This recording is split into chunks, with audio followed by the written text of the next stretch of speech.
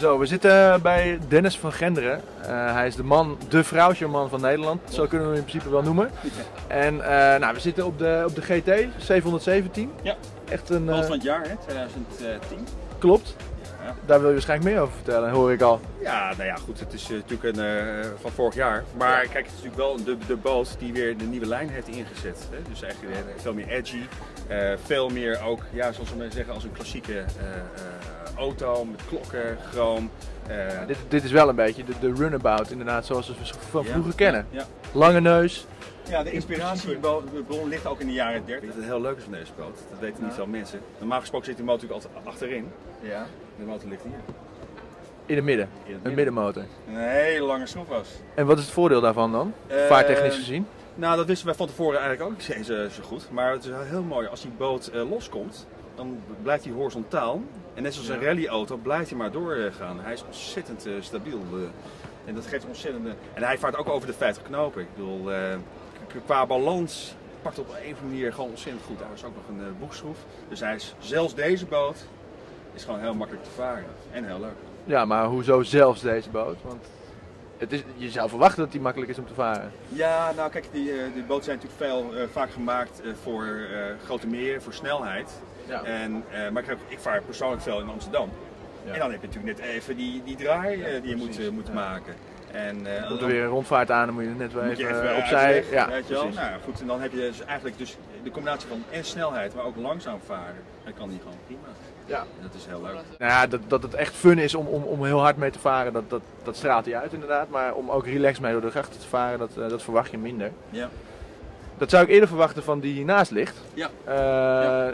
Een welbekende tender eigenlijk van een superjacht, zoals hij er ook uitziet. Ja. En, uh, en zoals hij zeker gebruikt kan worden door zijn ruimte.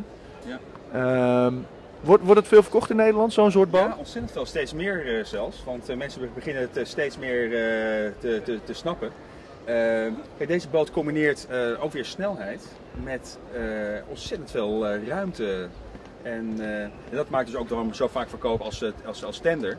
He, want de kapitein wil natuurlijk gewoon zijn spullen kunnen meenemen. En de eigenaar van, zo'n, van een superjacht wil natuurlijk een beetje een mooie, mooie boot hebben. En dan komen ze dus ja. vaak terecht bij de Lido. Nou, Frauscher heeft natuurlijk niet alleen kleine dagbootjes waarmee je lekker door de, door de grachten kan varen. Of gewoon vol gas uh, het IJsselmeer over kan gaan.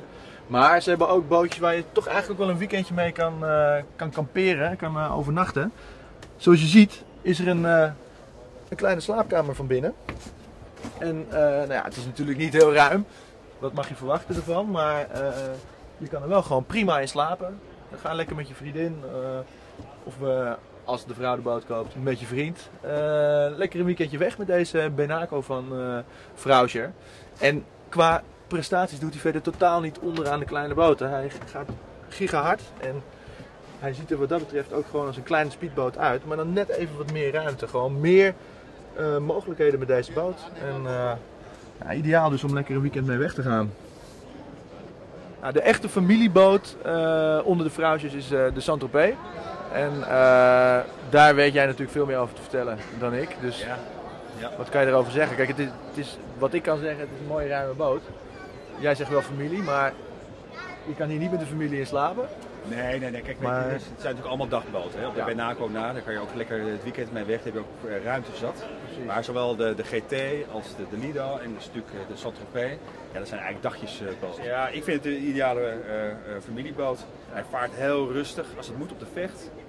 En ja, de maximum snelheid is 2, 43 knopen. Dus, dat, dat blaast flink. En waterskiën doe je dat ook erachter? Ja. Ja, ja, ja. Want dat is eigenlijk de origine van dit type boot, hè? Ja.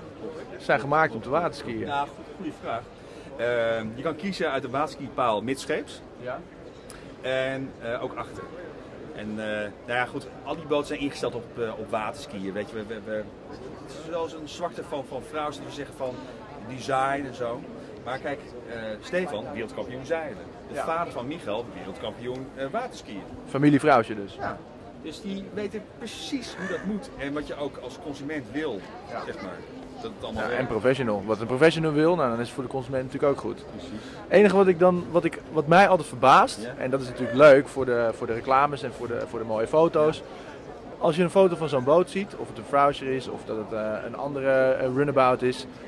Je ziet altijd mooi een vrouw achter op het dek liggen. Vol gas varen. Het lijkt mij niet echt lekker. Eh, het grappige is, eh, die, eh, een boot scharniert bij de, bij de schroef. Ja. Dus als je hard vaart en je hebt golven, dan heb je voorin meer last dan achterin. Ik durf met vol gas in de te lekker liggen. Ga ik gewoon lekker achterop eh, liggen. En het lekkere is, is omdat door het voorruitje, eh, stel het zit een beetje, dat het gewoon er overheen slaat. Ja, niet op het achterdek natuurlijk. Maar mijn kinderen die vinden het altijd leuk om achterop eh, te liggen.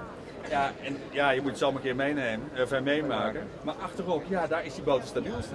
Nou ja, we komen elkaar graag een keertje langs om het live te gaan testen natuurlijk. Oké, top. Dankjewel.